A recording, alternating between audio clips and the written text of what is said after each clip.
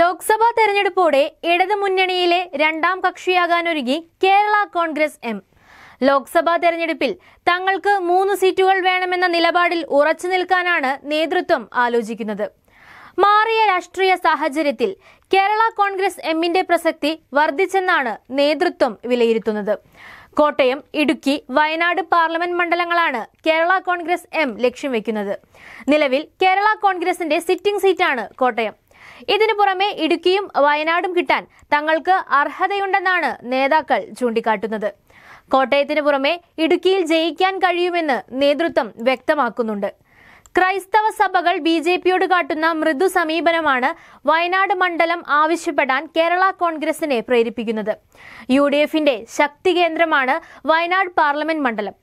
ക്രൈസ്തവ സഭകൾ B J P അനുകൂല നിലപാട് സ്വീകരിക്കുക കൂടി ചെയ്താൽ മത്സരം B J P U D F എന്ന നിലയിലേക്ക് മാറും.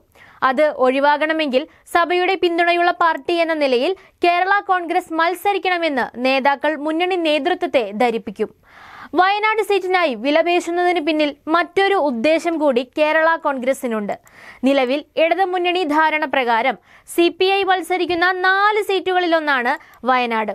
അത് തങ്ങൾക്ക് ലഭിച്ചാൽ സി പി ഐ മത്സരിക്കുന്ന സീറ്റുകളുടെ എണ്ണം മൂന്നായി കുറയും. ഇത് മുന്നണിയിൽ രണ്ടാം കക്ഷിയായ സി പി ഐയും കേരള കോൺഗ്രസ് എമ്മും മൂന്ന് വീതം സീറ്റുകളിൽ മത്സരിക്കും.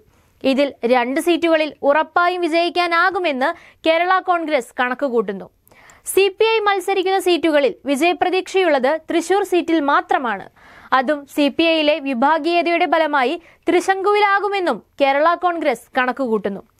അങ്ങനെ സംഭവിച്ചാൽ വരുന്ന പാർലമെന്റ് തെരഞ്ഞെടുപ്പോടെ ഇടതു മുന്നണിയിലെ രണ്ടാം കക്ഷിയായി കേരള കോൺഗ്രസ് എം മാറുമെന്ന കണക്കുകൂട്ടലിലാണ് ജോസ് കെ മാണിയും കൂട്ടരും.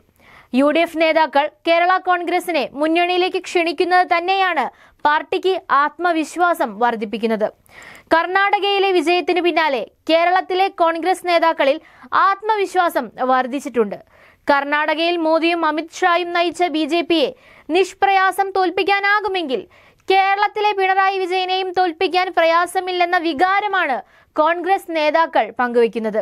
കേരള കോൺഗ്രസ് കൂടി തങ്ങൾക്കൊപ്പം എത്തിയാൽ വിജയം കുറച്ചുകൂടി ഈസിയാകുമെന്നും കോൺഗ്രസ് നേതാക്കൾ വിശ്വസിക്കുന്നു. അതേസമയം മധ്യ കേരളത്തിൽ പാർട്ടിയുടെ സ്വാധീനം വർദ്ധിച്ചിട്ടുണ്ടെന്ന് കേരള കോൺഗ്രസ് എം നേതാക്കൾ ചൂണ്ടിക്കാട്ടുന്നു. നിലവിൽ ഇടതുമുന്നണിയിൽ തന്നെ തുടരുമെന്ന് കേരള കോൺഗ്രസ് എം നേതാക്കൾ പരസ്യമായി പ്രഖ്യാപിച്ചിട്ടുണ്ട്. എന്നാൽ തങ്ങൾക്ക് അർഹമായ പരിഗണന ലഭിക്കുന്നില്ലെങ്കിൽ മറിച്ചൊരു തീരുമാനം കേരള കോൺഗ്രസ് എടുക്കുമോ എന്ന ഭയം സി നേതൃത്വത്തിനുണ്ട്. അതുകൊണ്ട് തന്നെ പാർലമെന്റ് തെരഞ്ഞെടുപ്പിൽ പന്ത് ജോസ് കെ മാണിയുടെ കോർട്ടിൽ തന്നെയാണ്.